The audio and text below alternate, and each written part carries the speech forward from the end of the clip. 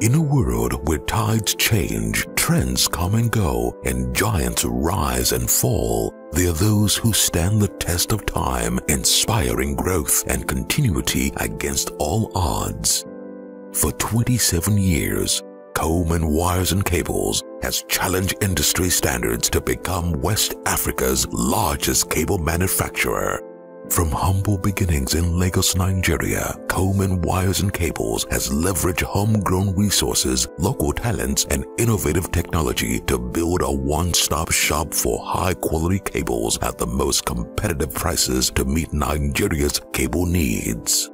Uh, the driving force for us in establishing Coleman Wires and Cable was to create a, a localized solution to power cables for Nigeria, for where we saw there was a massive gap uh, for to solve um, in solving our local needs of power. And when you look at the infrastructural deficiencies, cable happens to be a fair amount of it. The unique part of Coleman cables is it's the range, the range and the capacity. Uh, in terms of Nigeria, in terms of Africa today, we have one of the biggest range of product range of um, cables that is locally produced. Uh, we pride ourselves in actually saying all our cables are made in Nigeria of the highest quality, of the highest volume. Today, we could say we are technically the biggest cable company in Africa and are able to do that based on capacity. And that its meaning itself is that you're having the ability to have volume oriented production, which in turn becomes a cheaper production in country what is unique to, to Coleman, I would say, first thing is quality. Um, the cable industry is the only area of industry where you are you are, you are told that buy made in Nigeria, uh, and the reason behind that is we guard the quality quite jealously. What began as a venture of one man with a clear vision has evolved into an industry giant consistently surpassing expectations. By that time, we have about 12 manufacturers in Nigeria. And then we have a association called CAMAN, Cable Manufacturers Association of Nigeria. And then we, so in our, you know, in our usual session, we try to evaluate how the other, how many, uh, the, the balance 11 companies, what are their production uh, capacity and what is ours. So first thing is target is to meet the, the entire production plan of the 11 plus hours. So we should set a program of five years for. But behold, we were able to achieve that within three years. So and so we now have to, you know, set another plan for another five years. Uh, and we didn't even finish the other one before we started another five years. And that five years was to be able to look at what the whole West African sub-region that we produce, including the East uh, Africa. So then we must we look at that and now say, okay, that should be our drive. Evolving with the trends. What should be our next uh, uh, expansion plan? So then we then came out and said with a program that we should be able to do uh, turn Coleman into one shop, one stop shop for every cable that is required. So uh, that was the second plan, which we are still on now. So uh, that's why we then look at it. by the time we now did that, we now look at okay, what else is required? Then we now find out oh, we're now in the digital world. Uh, okay, we're in a digital world. If we are going to have a one one-stop shop, then we should be looking at optic fiber, which is though it's very expensive to run into, but we believe it's not unsurmountable in terms of because uh, in terms of experience in Ghana and the type of finance that's required also should be able to get that. So that was the one that we have uh, we stopped. We, we did that in the last two years, and uh, before the end, we gave ourselves two years. And before the two years, the whole the optic fiber was on on stream, and uh, we're now looking at the the second stage of that is we've done the plant one. We need to see before this, the, there is a shortage in the market also of that product. We are looking at further expanding that to Shagamu And that's exactly what the, the boys are doing right away. Meeting every type of customer's needs. When we joined uh, Coleman, our, our, our, our vision was basically to provide a one-stop shop, uh, a total cabling solution to our customers i.e. you would come to one place and everything you require in your building you can get in one place. And to be able to do that, we looked at all the types of cables that would go into a building and we, we started, you know, putting the infrastructure in place to be able to produce them. So there are five key products that we produce. Wiring products are what is common to all um, TV and uh, coaxial cable, I call I call it, which you use for your DSTV and your television. You, can you believe that not one meter of that is made in Nigeria? Only Coleman makes that cable. Um, something as trivial as that. Um, um we started in 2014. We started the production of medium voltage cables again not one meter is made by any other place in West Africa. Only Coleman in West Africa makes this cable. So that's again unique to us. Um, Cat 6, Cat 6 enhanced for your Ethernet applications. Again, nobody else makes it. Only Coleman is able to make that. Um, and then the final thing, which is the fiber optic, which we com commissioned. Again, we're the first of its type in and the fifth in Africa to be able to produce. So in if you think about a building, you need power, you need data, you need you, you know you need your CCTV, so you can get everything in one place. And I think that is only unique to Coleman. Pioneering through technology. For us, the, we've pioneered a lot of things in technology in Nigeria. We've pioneered in terms of the uh, the vision to actually do something exceptional. And when you're trying to do something exceptional, you also have to buy exceptional technology in terms of machinery. Now, Coleman, as for instance, today we're doing gap cable, and gap cable needed a specific type of drawing because you're drawing trapezoid shaped aluminum. And when you're drawing trapezoid, not every machine can do it. And from the biggest producer of drawing machines in the world, we're the we own the 10th line in the world in this country today. So that is making from that company trapezoid shaped aluminum, which is from Niehoff. And that is pioneering into so many other parts of the industry.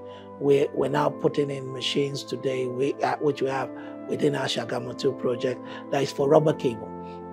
And rubber cable is for the marine cable industry it's used in every FPSO, which is a floating platform uh, for oil drills.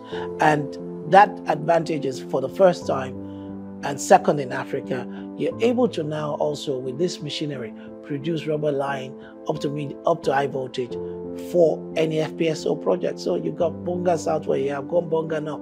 So today, for the first time, we can start thinking 100% cable is going to be bought in Nigeria, exported to wherever it's going to be done from and installed in this in, in these uh, vessels. So it changes the dynamics of how we think.